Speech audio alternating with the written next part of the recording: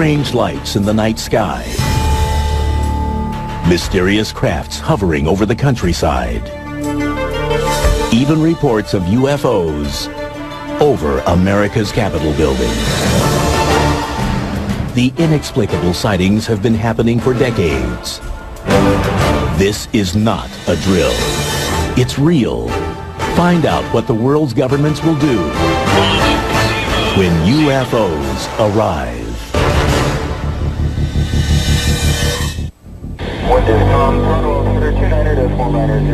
February 27th, 1996. A commuter plane, Flight 5959, leaves Pittsburgh, Pennsylvania, heading to Saginaw, Michigan, just outside of Detroit. It begins as a routine flight. But then, the plane encounters a UFO.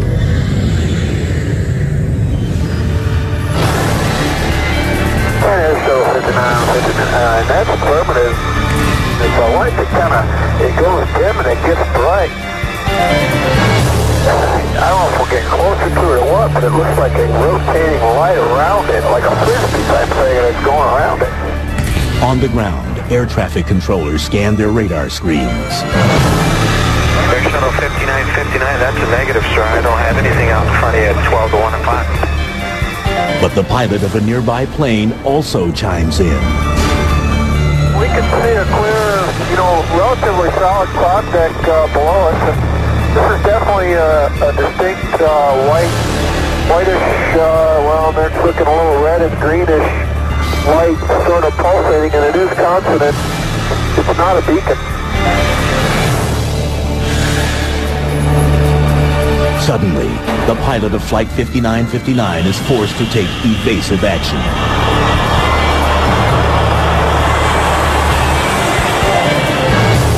Advised, uh, we're descending to 4,000 feet right now, and as we descended through 10,000 feet, uh, that object is above us right now. Uh, it is not on the ground. It's about 10,000 feet.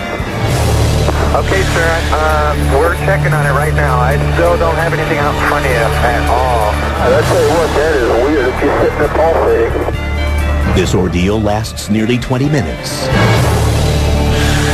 Then, the strange object simply disappears. No passengers or crew are injured in this encounter.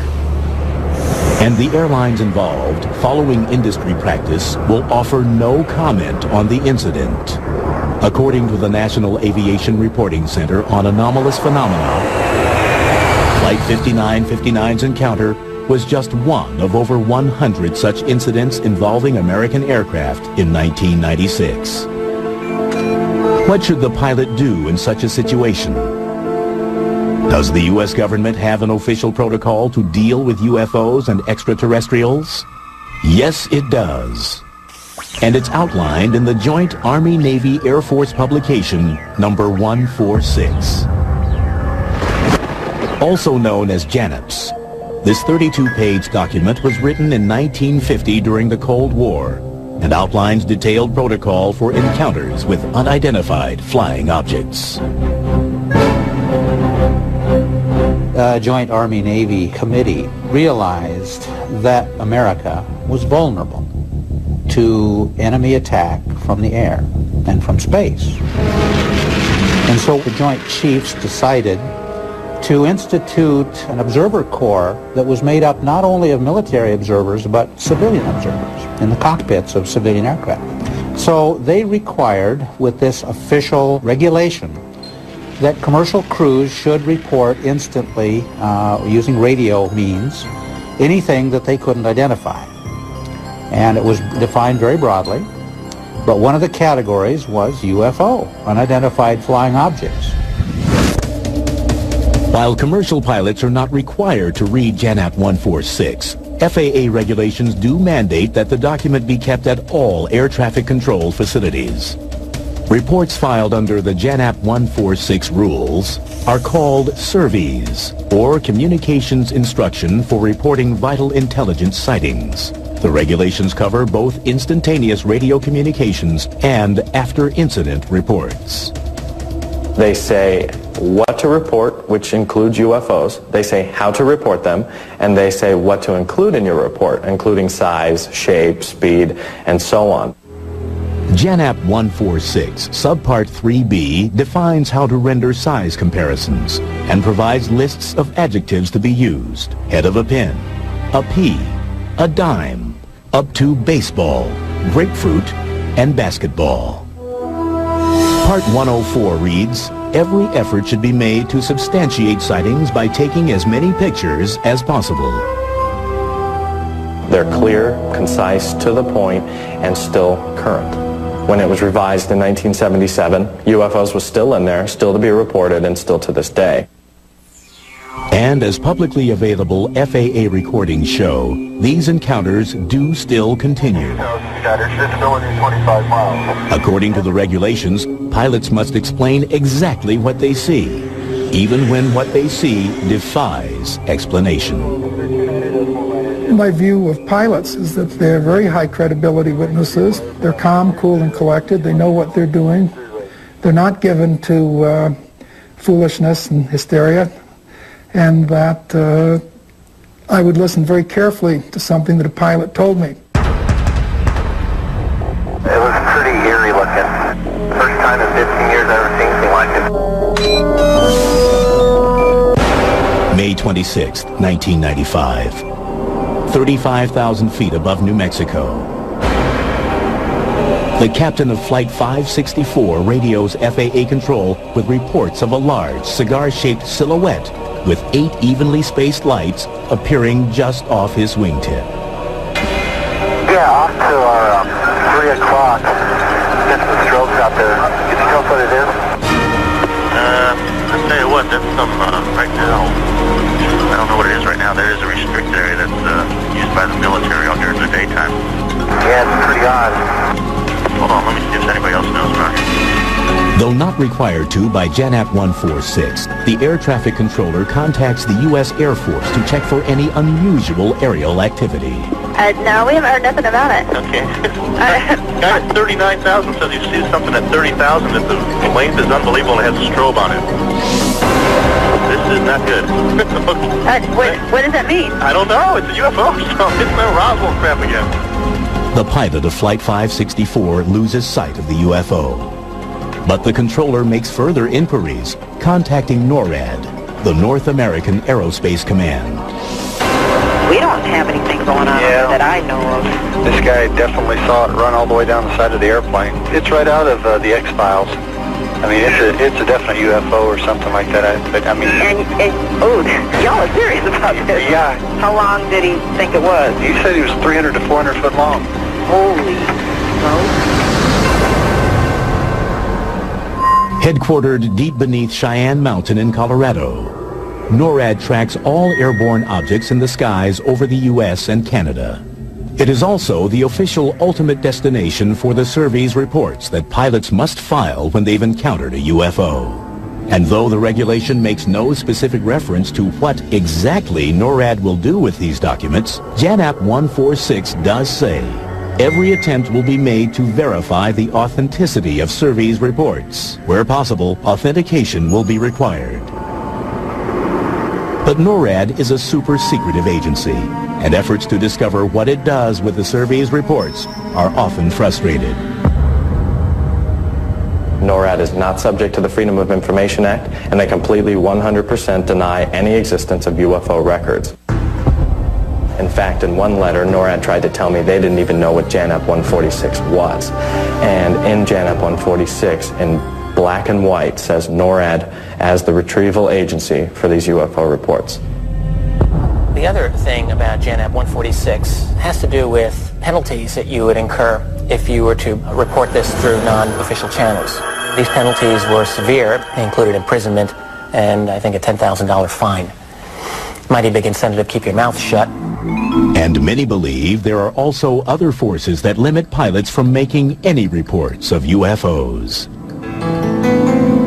I think there's tremendous pressure just in society in general that discourages people from bringing up things that are considered paranormal, UFOs, flying saucers being one of them. This breeds secrecy. Secrecy breeds distrust. that generates more pressure in this, this terrible, you know, kind of cycle. To many researchers in the field, this silence is likely a result of what seems to be the primary goal of U.S. government policy on UFOs, secrecy. It seems clear from a lot of the government discussions of the problem of contact that they wouldn't make this known to the public if it happened. The general attitude uh, of the government about not only about UFOs but many other things is just to play it safe and not tell the public what's going on. But many outside the government are increasingly certain that to play it safe, we need a detailed plan to deal with the UFO potential. When we return, if a fake radio broadcast can set off a panic, just imagine what a real alien invasion would do. May 30th, 1995, Nellis Air Force Base, Nevada. August 24th, 1990. Greifswald, Germany. July 6th, 1995. Tirana, Albania. Many researchers believe that with the increasing number of UFO sightings, it is just a matter of time before an irrefutable alien encounter happens. In that case, what plans do we have for dealing with them? What if the aliens are hostile, intent on conquering us? How will people react? A dress rehearsal for just such a scenario took place in 1938 during a radio broadcast to the eastern United States. Ladies and gentlemen, I have a grave announcement to make. Incredible as it may seem, those strange beings who landed in the Jersey farmlands tonight are the vanguard of an invading army from the planet Mars. War of the Worlds was a science fiction story written in the 1890s and broadcast by Orson Welles on his Mercury Theater of the Air. The battle which took place tonight at Grovers Mill has ended in one of the most startling defeats ever suffered by an army in modern times. Well, It was a very powerful broadcast, and it led to attacks on the radio station and things like that. 7,000 men armed with rifles and machine guns pitted against the single fighting machine of the invaders from Mars. Many people did not realize that they were listening to a radio play, uh, became panicked by what they heard. The broadcast ignited hysteria. Switchboards up and down the East Coast were overloaded with frightened callers. Hundreds of people evacuated their homes. The police even received eyewitness reports of fires raging from the attack. Many people took protective kinds of action that looked silly in retrospect, but seemed very sensible uh, to the people at the time. And uh, uh, the social psychologists have had a wonderful thing to study ever since. Summer 1952. Washington, D.C. With widespread reports of UFO sightings over the nation's capital, the alien invasion scenario became all too real to the U.S. government. What happened next would impact UFO policy for decades. This included radar observations. This included incursions by multiple phenomenon over the Capitol building, and it definitely raised the concern of the United States Air Force. It was bedlam for a while there. It was two weekends in a row where UFOs were seen over the White House. Um, we know that President Truman was very concerned about this. The CIA was absolutely intent on doing something about this problem. In January 1953, the CIA convened a panel of scientists and military advisors to study the UFO issue, headed by H.P. Robertson of the California Institute of Technology. While the Robertson panel unanimously concluded that UFOs posed no direct threat to national security, the panel did suggest a plan for dealing with them. The Robertson panel concluded that it was in the best interest of the United States government to suppress media coverage of UFO sightings. And to do that, they recommended a number of standard propaganda methods. They wanted, first of all, to use ridicule to cast the subject into disrepute. And this was in the context of a training program that they wanted to put out, an educational campaign which would involve two components, training and debunking. They use the word debunking, and they actually say that the mass media should be employed uh, by the national security apparatus of the United States to control the way the UFO subject was presented. United States UFO policy would continue to evolve. Evidence of this would be found in a report hidden in top secret files of the Federal Archives for more than 30 years. Known in the UFO community as the Brookings Report, it was prepared for both NASA and the United States Congress. The Brookings Institute report uh, dates from the very end of 1960. And this was something that was uh, conducted on behalf of NASA uh, at the very beginning of the space program to discuss the implications of space travel. It was led by a psychologist, uh, Donald Michael, team of six writers and uh, maybe 60 consultants, including people with good name recognition like Margaret Mead. As we get to the end of the report, there's a page and a half, two pages that deal with the possibility of encountering extraterrestrial intelligence. And it addresses many of the issues that concern us today. Uh, uh, how will people react? Uh, what will it do to the international uh, political system? Uh, how will it affect uh, government leadership? again, very brief, very concise, but very important. It stated very explicitly that if, for instance, we find evidence of alien artifacts or technology, that this would be a, a tremendously difficult, traumatic experience for not only global religion, but also the world of science. And indeed, uh, I believe the phrase was it could result in social disintegration. Anthropological files contain many examples of societies sure of their place in the universe, which have disintegrated when they had to associate with previously unfamiliar societies, espousing different ideas and different life ways. The suggestion that was made in this report, incidentally, was that if our space program came up with evidence of alien intelligence or technology, that it might be a good idea not to mention this fact to the public. It might be a very good idea to keep that fact secret. When War of the Worlds and this panic came about, that was the only thing that the Brookings report could reference, saying, look, NASA, you have to prepare for this. You have to have some kind of procedure or protocol for if the public does get into sheer panic, you have to be prepared. But what is the current policy? Does the U.S. government have a plan? In terms of preparedness, there are not many documents out there to prepare officials for the possibility of a UFO event taking place. But amazingly, there is one such document in the United States. It's called A Firefighter's Guide to Disaster Control, and this is a book that's used in the Federal Emergency Management Agency's National Academy to train firefighters.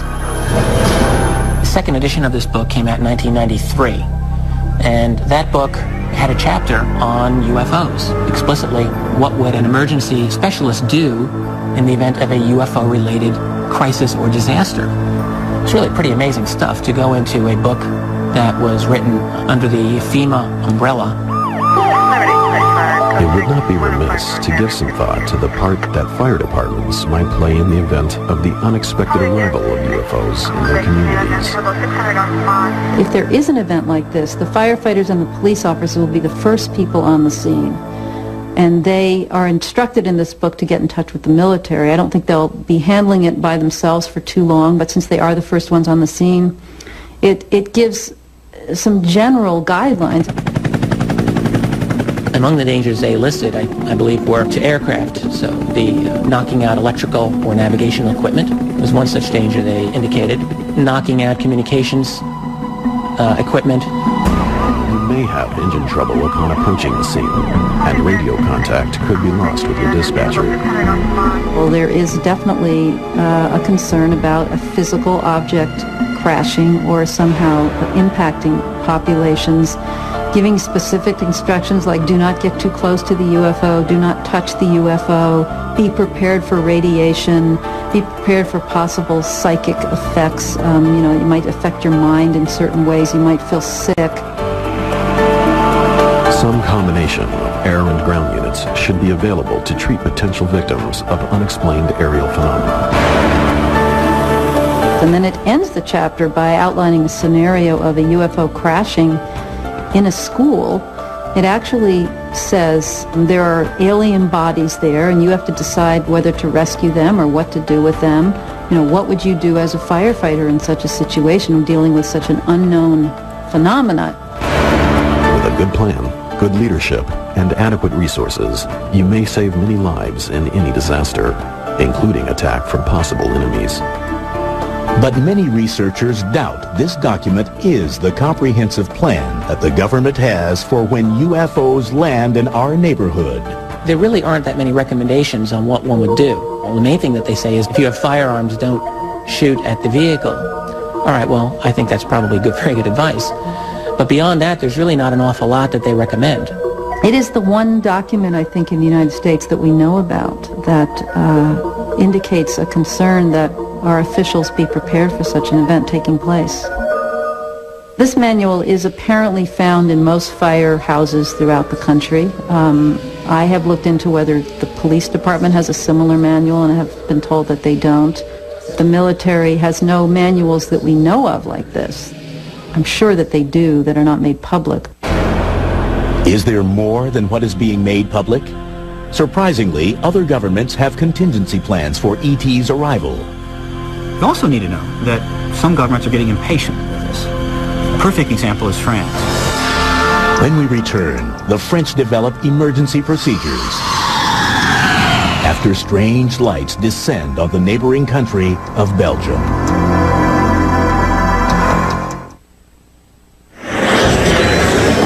Belgium, November 29, 1989. Policemen on patrol outside the city of Eupen see a mysterious triangular object with blinding lights hovering over a field. For the police officers, it is the beginning of a three-hour journey tracking the UFO across the countryside. For Belgium, it is the beginning of a nearly two-year-long wave of UFO sightings. The significant wave of sightings over uh, Belgium in particular in 1989 and 1990 of triangular aircraft have yet to be identified to this day. On that first night, the police are swamped with telephone calls from 150 witnesses. Soon, sightings of the Eupen Triangle, as it comes to be called, are reported throughout the country. The UFO phenomena there results in an unprecedented level of cooperation between various government agencies and private UFO investigators. Some consider the actions taken in Belgium a model for developing a plan to deal with other UFO incidents. The Belgium Air Force quickly takes the lead in setting up a procedure for tracking this unidentified flying object. Colonel Wilfried De Brouwer, the Air Force's Chief of Operations, coordinates a special task force to work with local and national police agencies, as well as civilian UFO investigators. On the night of March 30th, 1990, the Triangle is sighted again. Two Belgian F-16 fighters are scrambled from Beauvechain Air Base. Despite flying for over an hour, the pilots are unable to make visual contact with the UFO, but do manage to record radar images of it. The encounter leads some to speculate that the Eupen Triangle is actually an American craft. If so, the most likely culprit would be the F-117A stealth fighter. This secret, triangular-shaped aircraft is designed to have a minimal radar signature, but sophisticated analysis conducted on both ground-based and on-board radar images of the Eupen Triangle calls this theory into doubt. According to the radar, the UFO could, within seconds, accelerate from 170 to 1,100 miles an hour and drop from 11,000 feet to near ground level. Maneuvers like those would generate an enormous G-force, far in excess of what military testing films show a human can endure, thereby dismissing the possibility of the UFO as man or American-made. The sightings in Belgium, whatever their source, eventually subside. But not before nearly 2,000 people report seeing that flying triangle. After that wave had passed, uh, some members of the European Parliament wanted to organize a, a UFO investigative body, or actually they wanted to contract a French UFO organization to work with them to check into UFO reports that were on a European-wide basis. That organization is known as SEPRA, a French acronym for Service for Assessment of Atmospheric Reentry Phenomena. Housed in France's National Center for Space Research, it is a cooperative European effort for collecting and analyzing UFO information from around the world. In 1999, SEPRA's extensive data provides the basis for a report issued by a French group called COMETA, which translated is the Committee for In-Depth Studies. There have been various studies over the years, but this is really an historic study because of the caliber of the people that wrote it and because of the conclusion that they drew. And this study said a number of interesting things, not the least of which was that the most likely explanation for the phenomena studied is extraterrestrial. In light of this conclusion, Cometa laid the groundwork for determining a contact protocol in their official report titled UFOs and Defense, What Should We Prepare For? There's a lot of concern in the report that the lack of preparedness could lead to problems is because if an event happens, people are not informed as to what the phenomenon is and how they should respond. The report clearly states, For the moment, they do not appear to be meddling in our affairs, but it is advisable to ask ourselves what they are actually seeking. What should we prepare for? How should we prepare for it? And that's what, in fact, these military officials and government officials were trying to come across with, is that there had to be a preparation for this. If we do nothing, the very principle of defense and air intelligence would be called into question. They recommend that a, a, a widespread training campaign be undertaken to educate people in official positions how to respond, what the phenomena is, what the evidence is, what they should do if they encounter something. According to the report, those who must be utilized in this regard include meteorologists, space and aeronautical engineers, and air traffic controllers. Only the military controller has adequate equipment to detect a flying object that does not follow general air traffic rules, moving at the supposed speeds of UFOs. The report makes special mention of military pilots as our first means of intervention if, by chance, this were to prove necessary. But it goes on to express concern for the pilot of a commercial aircraft. Although he remains a primary partner in the quest for information, he would be totally powerless in the face of an aggressive stance by a UFO. One must be on guard against any instinctive self-defense reaction that could be easily interpreted as a provocation. Part of the concern is not to initiate any actions that could be dangerous. For instance, at a military base, if staff witnessed an object and didn't know anything about what it might be, that there could be a reaction of hostility. For instance, they, they wouldn't know are they supposed to be defensive towards this object. Cometa report, although that was sent to the President of France, Jacques Chirac, and sent to a number, number of other high-ranking individuals, it's unclear what kind of impact the Cometa report has had on policy.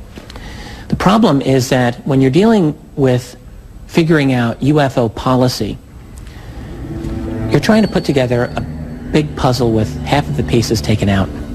And often they weren't taken out accidentally, they were taken out intentionally. So we, we don't have all of the information we would like. It's unfortunate, but that's the fact. Coming up, as Cold War tensions rise, the UFO problem threatens to trigger Armageddon.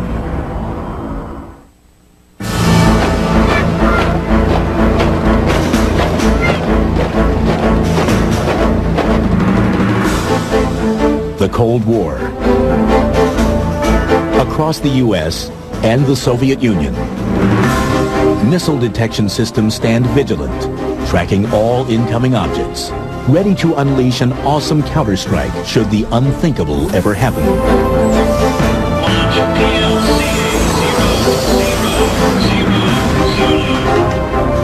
But what if the inbound object is actually a non-threatening UFO? Might fear of the unknown inadvertently trigger Armageddon? In 1971, just such a scenario was envisioned and planned for. In uh, September of 1971, there was a nuclear agreement between the United States and the Soviet Union. There was one interesting part of that agreement which dealt with the need to be aware of unidentified objects for either country that would, in, you know, possibly cause an alert status to go off the historic agreement on measures to reduce the risk of outbreak of nuclear war covers a number of scenarios. Article 3 of the agreement states, The parties undertake to notify each other immediately in the event of detection by missile warning systems of unidentified objects. If such occurrences could create a risk of outbreak of nuclear war between the two countries. But the meaning of unidentified object has raised interest in some quarters. Now, it is not necessarily the case that an unidentified object would mean an, a UFO in the sense that we understand that. However, I think it's undeniable that an unidentified object would very probably also refer to true UFOs. But of course, you have to remember, all of these documents, whenever we're dealing with UFOs, they're so carefully worded that, uh, you know, nothing explicit really is said. Article 6 of the agreement details the notification procedure for these incidents.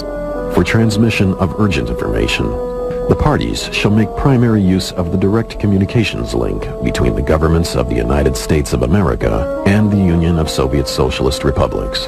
But to use the direct communications link, the information first has to get to the highest levels of the U.S. government. And a protocol for making that happen also exists. Air Force Manual 10-206, most recently updated in June 2001, gives the primary reporting instructions for that branch of the military, which mans the country's missile detection system. Compliance with these reporting instructions is mandatory. Chapter 3 details operational status reports, referred to as OPREP 3. The highest priority in the OPREP 3 structure is given to reports denoted by the flag words Pinnacle Nuke Flash, indicating events which risk the outbreak of nuclear war. According to these instructions, included in these events is detection of unidentified objects by a missile warning system that appears threatening and could create a risk of nuclear war. These reports, both immediate voice reports and follow-up written ones, go to the Air Force Operations Center in the Pentagon, Strategic Command, NORAD, and the chairman of the Joint Chiefs of Staff. Rapid reporting is imperative. Do not delay an initial report for lack of information. Due to the extremely time-sensitive nature of the Pinnacle Nuke Flash report, transmit these voice reports no later than five minutes after learning of the event.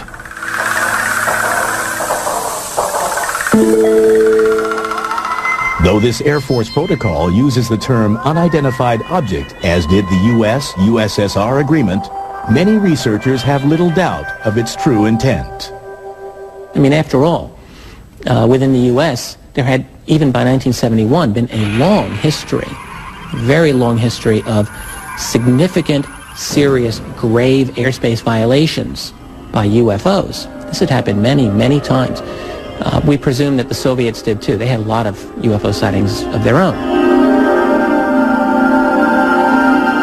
Though what ultimately happens to Pinnacle Nuke Flash reports is cloaked under layers of secrecy, they do demonstrate international cooperation, which many think is the key to dealing with the UFO question. In 1977, an effort is made to put the United Nations in the center of implementing the UFO protocol. Grenada. Following a spate of UFO sightings over the tiny island nation, its Prime Minister, Eric Gairy, proposes an initiative to incorporate the UFO problem into the UN's official agenda and even calls for 1978 to be the United Nations International Year of Unidentified Flying Objects. But the Grenada initiative fails, garnering no preparation plans and no discussion of UFO contacts whatsoever. There are people that would prefer not to have any evidence of extraterrestrial life whatsoever, that it really violates their views of Earth, of uh, how the universe works, of our sense of being distinctive and, and privileged by being what we are here on this planet. Still, the United Nations does figure into some protocol regarding alien intelligence, those dealing with an organization of astronomers called SETI, the Search for Extraterrestrial Intelligence. What the rules call for is first of all verification by different observatories, then uh, reporting to various scientific agencies in the UN. Because the idea is that this discovery will be made, you know, for all humankind. Coming up, a law authorizing the government to lock up people who have been extraterrestrially exposed. The search for extraterrestrial intelligence, or SETI, began in 1971 as a NASA program. It primarily uses radio telescopes located around the globe, pointed towards small sections of space to listen for anomalous signals sent by natural or extraterrestrial sources. SETI's kind of a fun program. Astronomers have told me that, that the odds aren't real high that we'll find anything out there. But I think it's a good idea. If, if we listen, we might hear something. If we don't listen, we definitely won't hear anything. Though the government stopped funding SETI in 1993, it continues as a private program. And should the search for extraterrestrial intelligence be successful and contact made, there is a plan for what to do. Call the Declarations of Principles concerning activities following the detection of extraterrestrial intelligence. The procedure calls for verifying plausible explanations, not making any public statement until evidence is credible, contacting the United Nations, and not sending any response to an extraterrestrial signal until appropriate international consultations have taken place. So even if it's a small possibility, I think it's worth it just in case um, we hear something unusual. That would be an exciting day. Many researchers continue to believe the government has more extensive plans for when UFOs land here on our planet. But time and time again, official government secrecy surrounding the issue has stymied their efforts at discovering what these plans may be. The researchers in the field can only go so far because the government doesn't want it to go any further. And in the absence of honest, straightforward, and open engagement, you grab anything you can and try to find a connection. Some researchers believed that a now repealed federal law called extraterrestrial exposure was that elusive connection. The law was passed by the U.S. Congress in July 1969, just days before the Apollo 11 astronauts landed on the moon. Tranquility Base here. The Eagle has landed. It authorized NASA to quarantine under armed guard any object, person, or other form of life which has been extraterrestrially exposed. But what does extraterrestrially exposed actually mean? That document, I think, has been greatly misunderstood and misquoted and taken to mean that uh, it deals with alien life forms, for instance.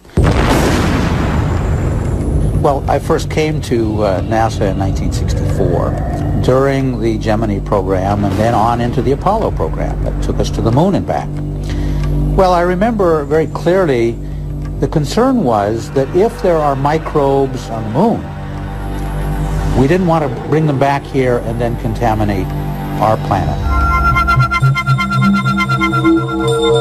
While the extraterrestrial exposure law may not have been the smoking gun some researchers had hoped for, many believe that we can learn something about the government's plans for UFOs by looking at other programs in the intelligence community. I do believe that it's most likely that the U.S. government would be the dominant player in determining a UFO policy at the classified level. I think a good model for this might be the program known as Echelon, which doesn't officially exist, but everyone knows exists. This is a uh, electronic intercept program led by America's National Security Agency in conjunction with the NSA equivalents of Britain, Canada, Australia, and New Zealand.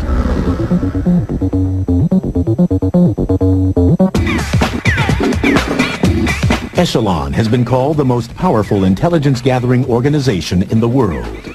It employs an array of surveillance systems around the globe to intercept an estimated 3 billion communications every day, from telephone calls to emails. Though Australia has admitted its part in Echelon, the NSA still will not answer questions about it, even questions from Congress. Just as Echelon is a global program that is of very, very high levels of secrecy and importance and classification, so too I think it's likely that the UFO phenomenon has a similar kind of international organization that is in all likelihood dominated by uh, American players. Meanwhile, the UFO question will not go away. For every unexplained flash of light in the sky,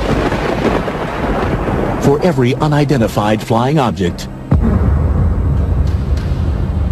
a new chapter is written. And for those whose jobs put them on the front lines, it's more than a passing curiosity. All I saw was just a couple real bright flashes of light. Anything that is sufficient to disturb or upset a pilot poses some risk to the aircraft, the passengers, and the cargo. And uh, someone needs to look into it. Drill that starts them going uh, counterclockwise, and uh, the length is unbelievable. The government's documents certainly show that the government takes the subject seriously, that they're interested in it, and that they realize that it's real, regardless of what they say publicly. Given that, one would have to assume that they must have some concern about being prepared. There is far more information that the government holds on this subject than you can imagine, and I'm sure that it includes a whole regimen of protocols to deal with an ET-driven event. They're not going to publish that because you see that would be a little hard to explain in the context of their normal pronouncement that what ET? I don't know. It's a UFO, so it's that Roswell crap again.